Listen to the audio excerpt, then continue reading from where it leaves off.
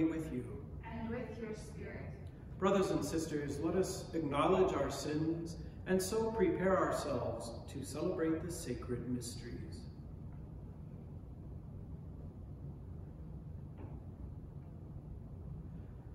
I confess to Almighty God and to you, my brothers and sisters, that I have greatly sinned in my thoughts and in my words, in what I have done and in what I have failed to do, through my fault, through my fault, through my most grievous fault. Therefore I ask Blessed Mary, ever Virgin, all the angels and saints, and you, my brothers and sisters, to pray for me to the Lord our God. May Almighty God have mercy on us, forgive us our sins, and bring us to everlasting life.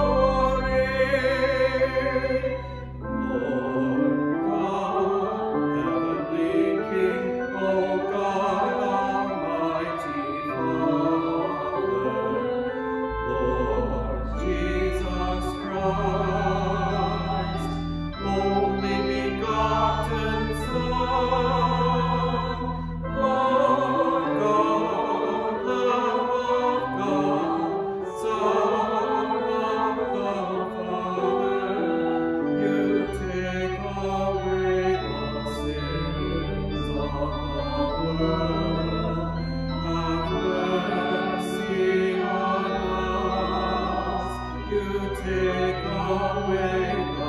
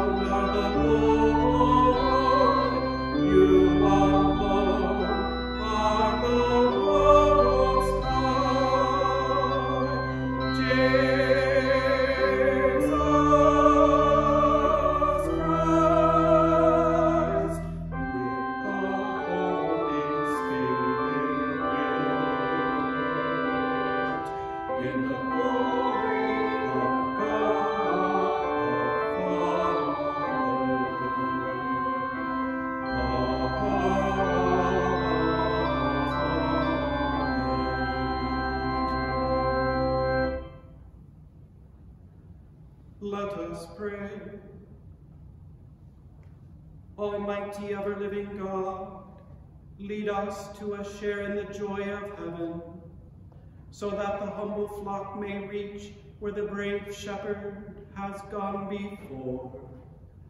who lives and reigns with you in the unity of the Holy Spirit, one God forever and ever. Amen.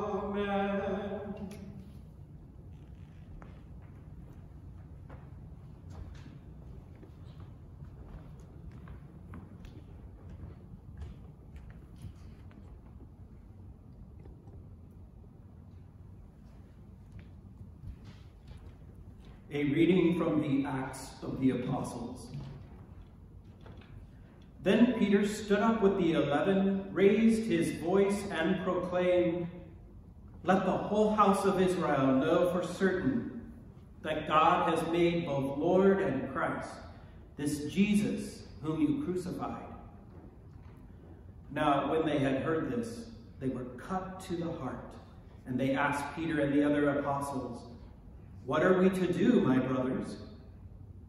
Peter said to them, Repent and be baptized, every one of you, in the name of Jesus Christ for the forgiveness of your sins, and you will receive the gift of the Holy Spirit.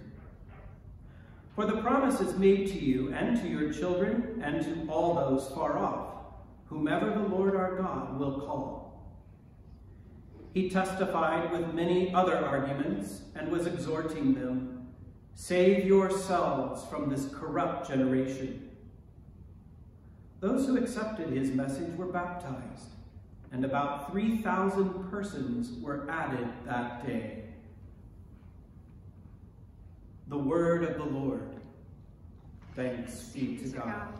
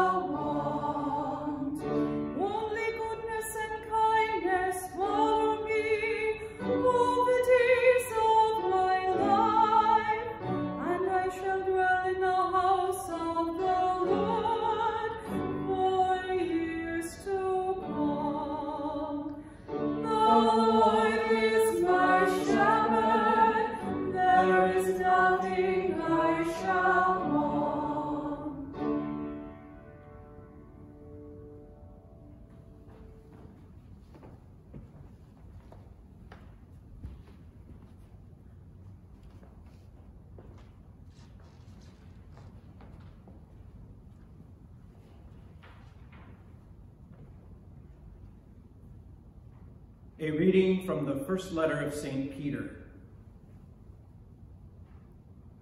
Beloved, if you are patient when you suffer for doing what is good, This is a grace before God. For to this you have been called, because Christ also suffered for you, leaving you an example that you should follow in his footsteps. He committed no sin, and no deceit was found in his mouth. When he was insulted, you returned, he returned no insult. When he suffered, he did not threaten. Instead, he handed himself over to the one who judges justly. He himself bore our sins in his body upon the cross, so that, freed from sin, we might live for righteousness. By his wounds you have been healed. For you had gone astray like sheep, but you have now returned to the shepherd and guardian of your souls. The word of the Lord. Thanks be to God. The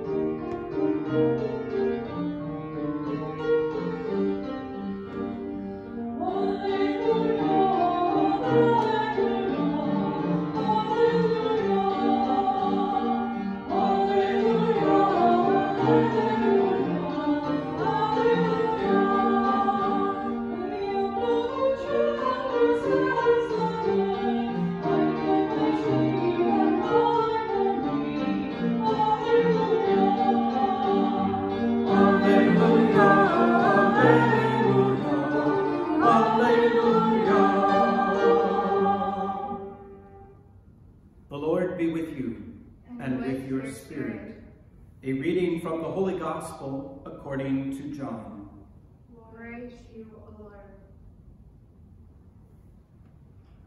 Jesus said, Amen, amen, I say to you, whoever does not enter a sheep enter a sheepfold through the gate, but climbs over elsewhere, is a thief and a robber. But whoever enters through the gate is the shepherd of the sheep. The gatekeeper opens it for him, and the sheep hear his voice.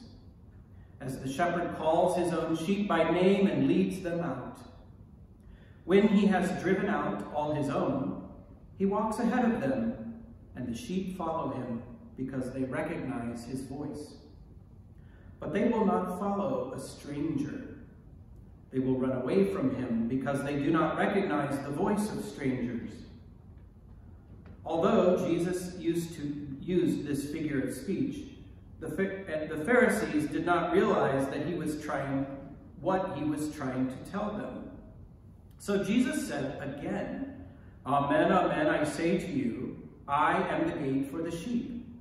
All who came before me are thieves and robbers, but the sheep did not listen to them. I am the gate.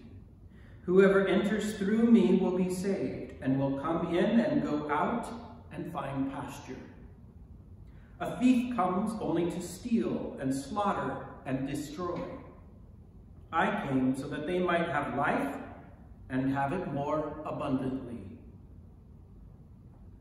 The Gospel of the Lord. Praise to you, Lord Jesus Christ.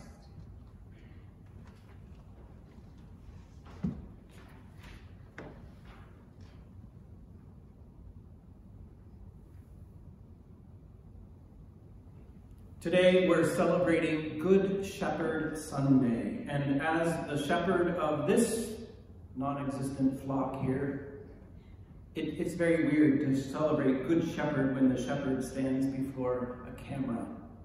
But it is part of the Easter tradition that we have kind of this lineup of Sundays that come every year to remind us of belonging it's very important that we have a sense of belonging. And in order to belong, we need good leaders.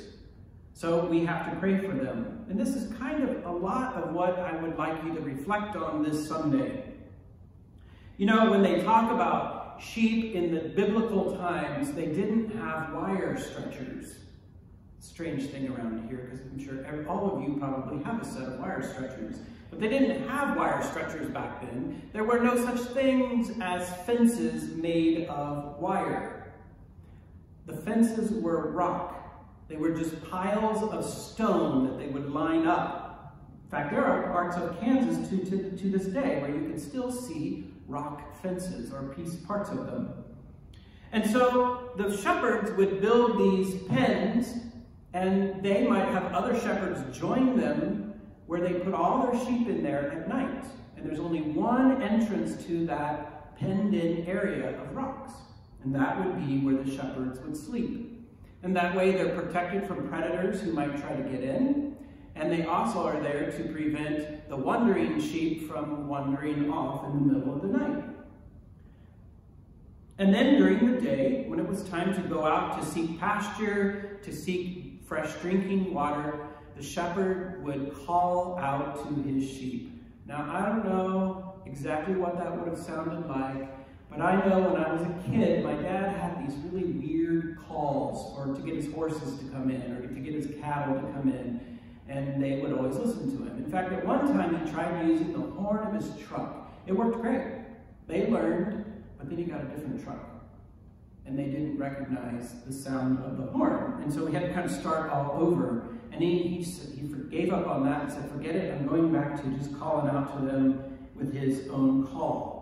And so I, I think most people who grow up on a farm know that there's a certain call for the farm animals, whether it's the dog or whether it's your sheep or whether it's your cattle or your horses.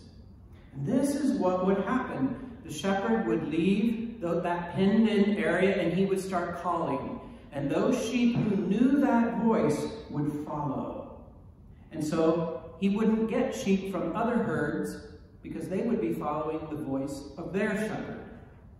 And so today, this is the image that the gospel is conveying to us this image of following this voice that is familiar. So, if it's going to be familiar, if we're going to hear the voice of God, we have to be men and women of prayer.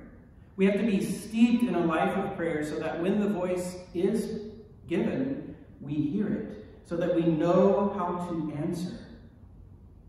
You know, parents are also shepherds. In fact, they're more of a shepherd than I am because they provide for the children of our community day in and day out. Children are very reliant upon their parents, especially when they're little. It's very obvious. When they're teenagers, they pretend like they're not reliant, but they really are. Just don't tell them.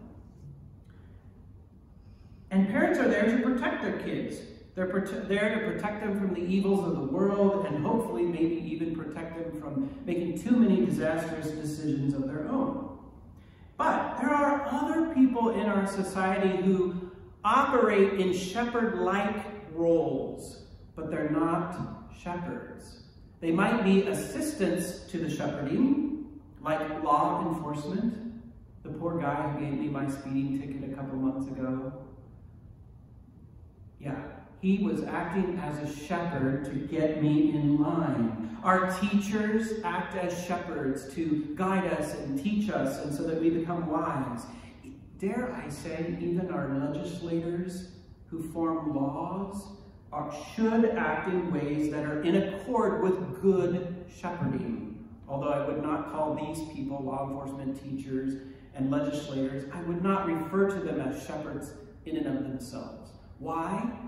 Because for them, that is something that's part of their life, but not the entirety of their life. The most unique shepherds that we have, and the ones that the gospel really draws us to, are family, parents in particular and then also to the priests, to the bishop. You know, I've been saying to you for a couple weeks that our main obligation is obedience to the bishop. And for those of you who have struggled mightily with that, I say, welcome to my set of vows. Because obedience is the preeminent mark of the diocesan priesthood. We have to follow the guy with the funny hat and do what he tells us, even if we really don't want to. But we become better people when we follow the voice of the shepherd. And he has been given to us as our shepherd. You know, it's also important to pray for those who will be called to these roles of shepherding as parents or as priests. And I remember even at the beginning, 20 years ago when I was first ordained, I remember we would pray frequently for an outpouring of good holy vocations to the priesthood. We wanted to foster vocations within the parishes. But you never heard a general petition praying for people to embrace the sacrament of marriage. We would pray for Johnny and Susie, who are preparing for marriage here this summer. You know, we would pray for people by name who are already in the process, but we didn't pray for people to discern and to choose marriage. Oh, how things have changed in 20 years.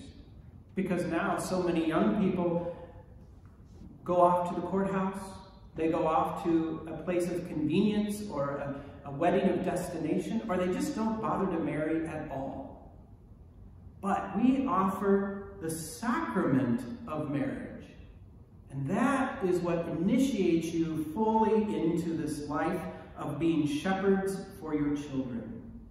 And so we need to urge young people to not just get married, but to truly discern the sacrament, the call to marriage. We also have to pray for our bishop. You know, in this time, it's a very difficult time. We have Zoom, Zoom meetings with him every week, and I always notice within the first three minutes of the meeting how nervous he is. He's got a lot on his shoulders in guiding the, the diocese in the time of this pandemic. And believe me, he's got a lot of pressure on him from various directions about what to do. So we listen for his voice. We listen for his direction on what to do next. I'll tell you, I'm super excited right now because the governor has, starting Monday, the governor has put into place this four-step plan for getting us back to functioning. That means Mass is coming soon. That means eventually Mass will return to some sense of normalcy as well. And so we need to pray for the bishop as he guides us in that. He will set that direction for us because he's our shepherd. And so we, we will listen for his voice. Pray too also for the seminarians of the diocese.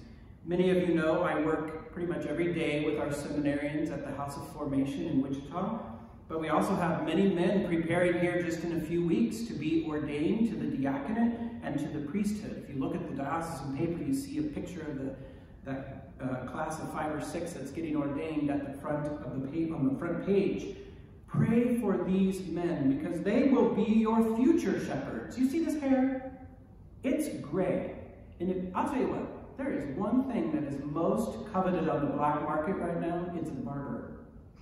They can make big coin right now if they know how to market themselves quietly for fear of law enforcement. However, you look at my hair and you see it's getting really gray. So there will come another priest, younger, better preacher, better shepherd, better everything, hopefully, than I am, that will come someday down the road. Now, we still got 20 years, just relax. But someday there will come another priest. Why not pray for him already? Why not pray that he will bring another conversion of heart to you and to our community? Why not pray for the grace of those young men and women in our parish that would be sitting in our pews who will become parents in a matter of a few years? Pray for them that they might hear the voice of the shepherd, the shepherd Jesus Christ, who calls me to the priesthood, who might call you to marriage and family life, but who is still calling, even while we're stuck at home, the Holy Spirit is still calling the young men and women of your families. Ask yourself if you are open to supporting your son becoming a priest, your daughter becoming a religious sister, your children embracing the sacramental life of marriage. If you can, without reservation, say yes, you are probably well on your way to also being a good shepherd.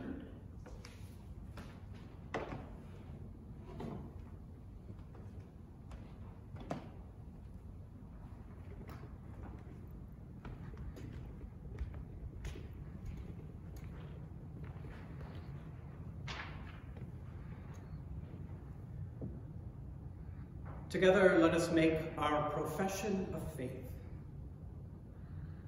I believe in one God, the Father Almighty, maker of heaven and earth, of all things visible and invisible.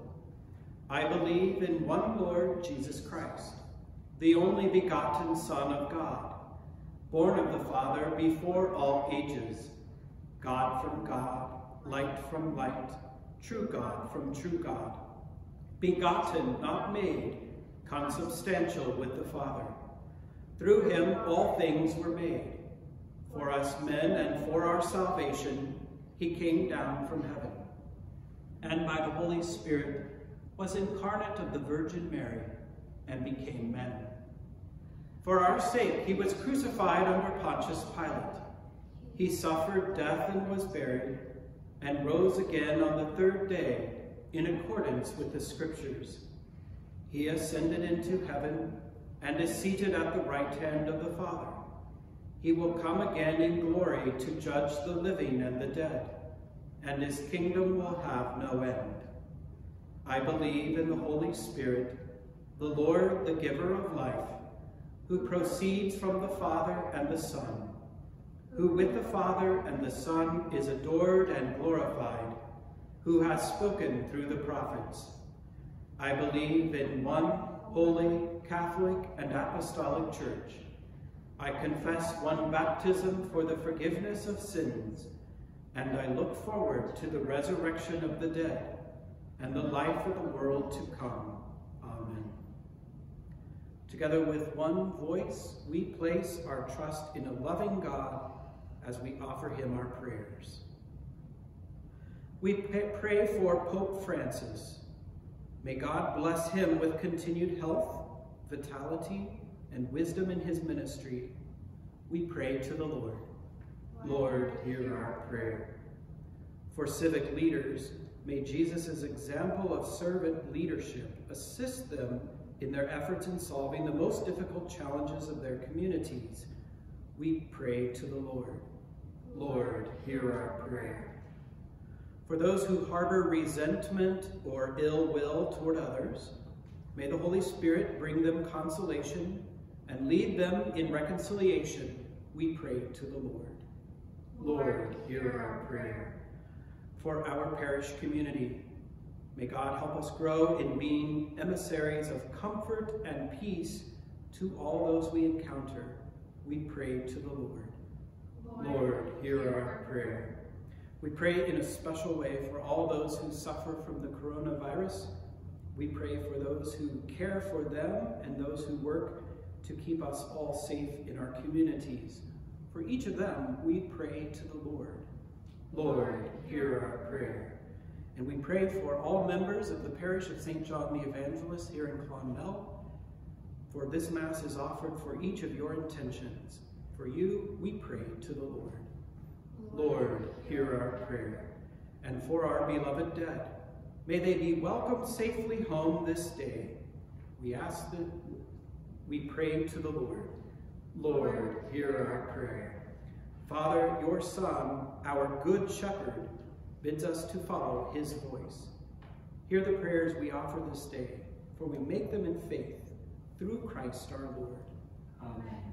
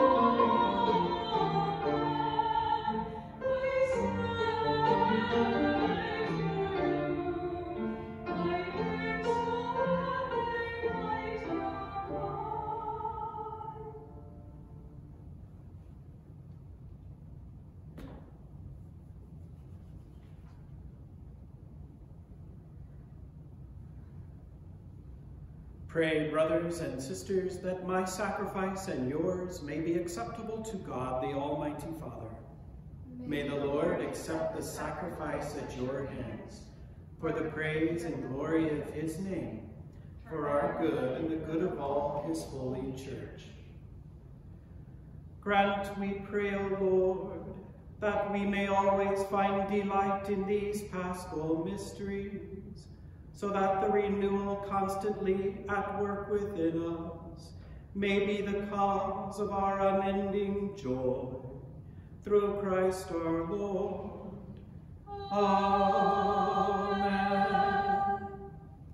The Lord be with you, and with your spirit.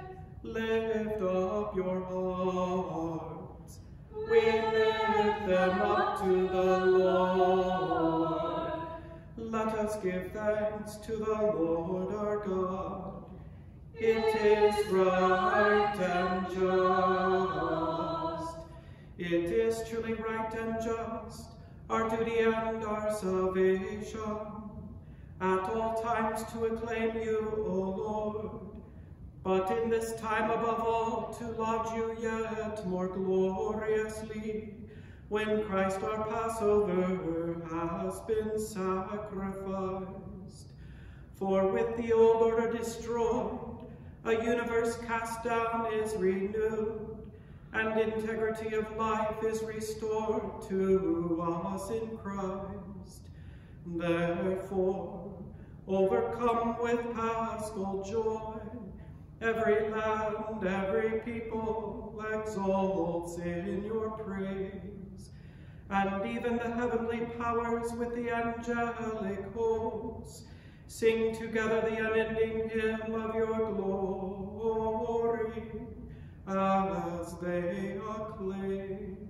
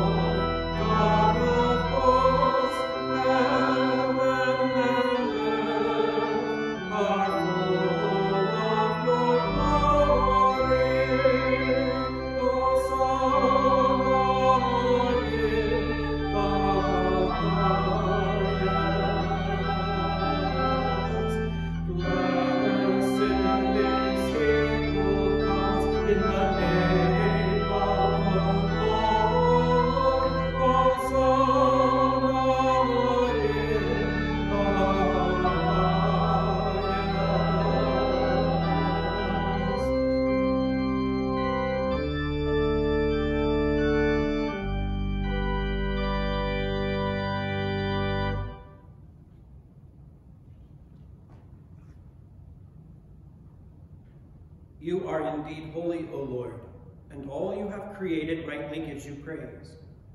For through your Son, our Lord Jesus Christ, by the power and working of the Holy Spirit, you give life to all things and make them holy. And you never cease to gather a people to yourself, so that from the rising of the sun to its setting, a pure sacrifice may be offered to your name. Therefore, O Lord, we humbly implore you, by the same Spirit, graciously make holy these gifts we have brought to you for consecration, that they may become the body and blood of your Son, our Lord Jesus Christ, at whose command we celebrate these mysteries.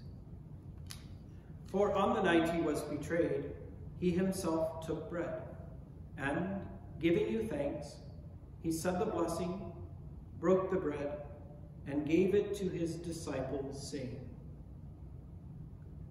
Take this, all of you, and eat of it, for this is my body, which will be given up for you.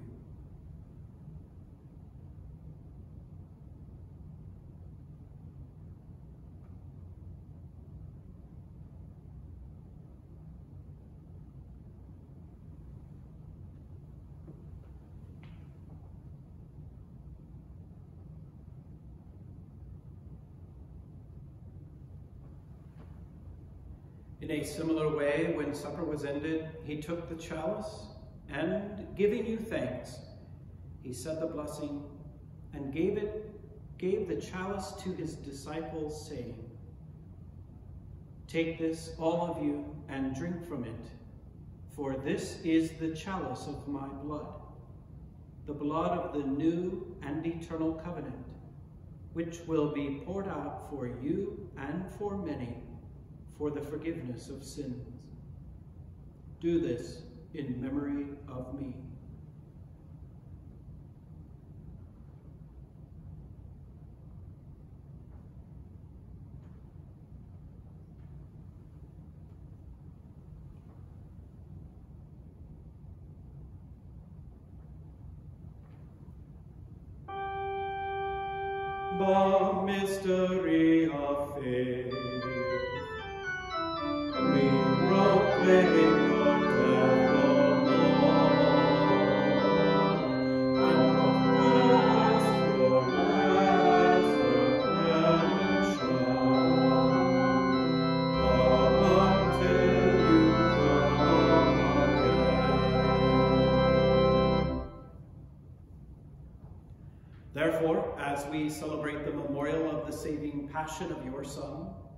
His wondrous resurrection and ascension into heaven, and as we look forward to his second coming, we offer you in thanksgiving this holy and living sacrifice.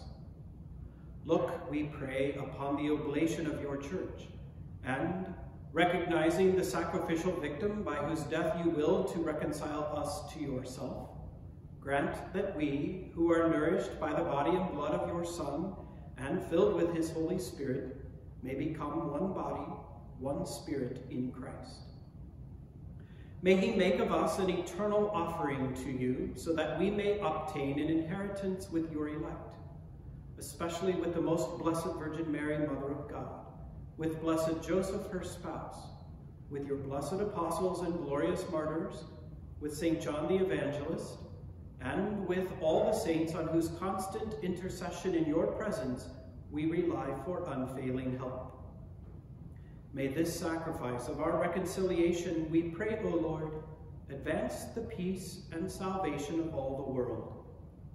Be pleased to confirm in faith and charity your pilgrim church on earth, with your servant Francis our Pope and Carl our Bishop, the order of bishops, all the clergy, and the entire people you have gained for your own.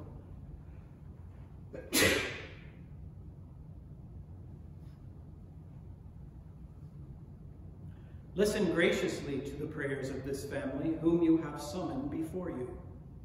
In your compassion, O merciful Father, gather to yourself all your children scattered throughout the world. To our departed brothers and sisters, and to all who were pleasing to you at their passing from this life, give kind admittance to your kingdom. There we hope to enjoy forever the fullness of your glory, through Christ our Lord, through whom you bestow on the world all that is good. Through him and with him and in him, O God, Almighty Father, in the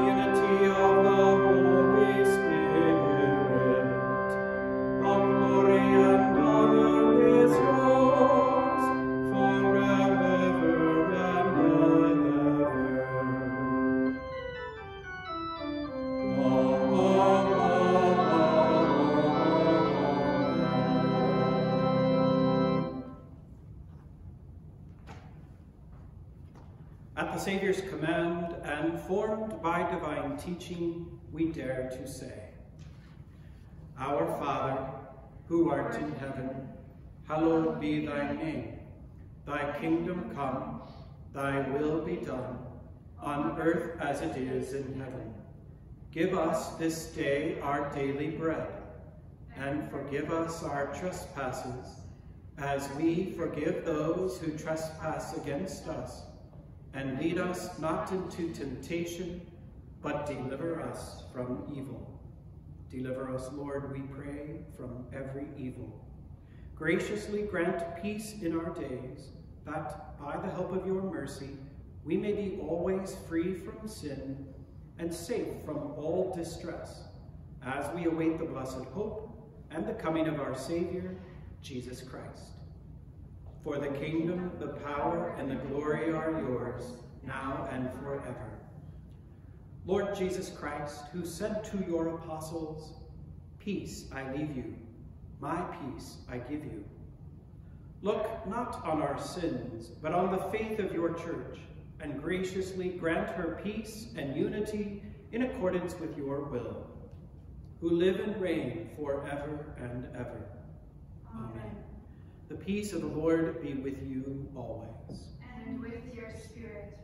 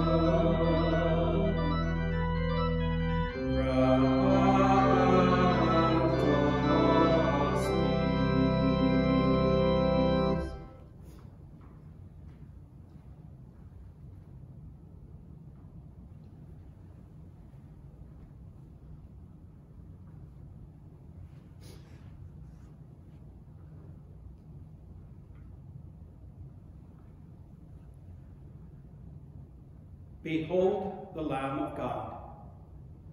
Behold him who takes away the sins of the world. Blessed are those called to the supper of the Lamb. Lord, I am not worthy that you should enter under my roof, but only say the word, and my soul shall be healed.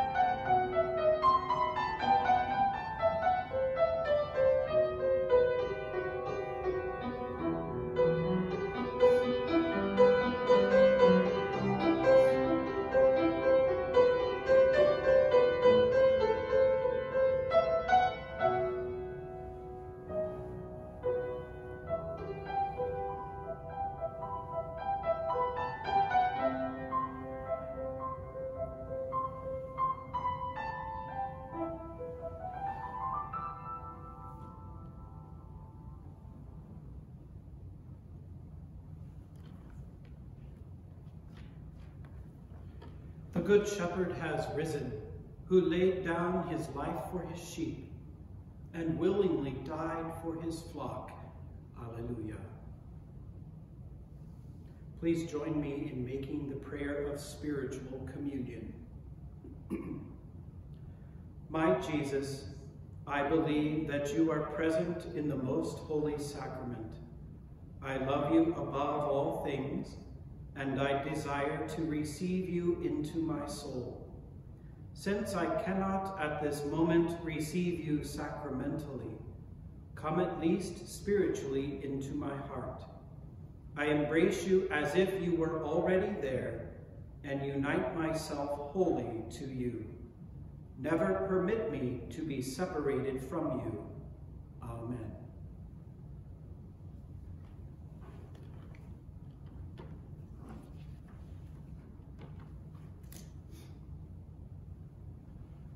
Let us pray.